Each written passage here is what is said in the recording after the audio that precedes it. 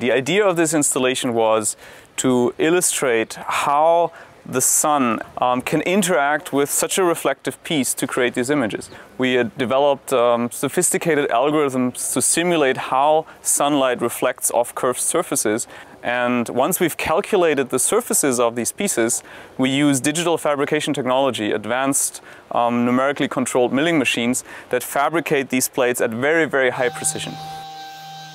In designing the project, we collaborated with architects from the ALICE lab here at EPFL.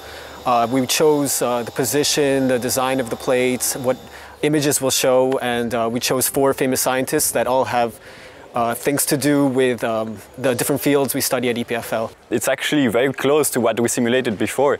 The sun, uh, we managed to predict uh, its course over the year with daylight saving times. We had to decide the orientation of the plates such that the images would be visible for most part of the year. And actually one very interesting uh, effect that we notice now is that when uh, the clouds pass over the sun, the image disappears. It gets first it gets a bit uh, blurry, then it disappears, and then once the cloud passes, it reappears as if by magic. And this is also a really cool effect that we just noticed.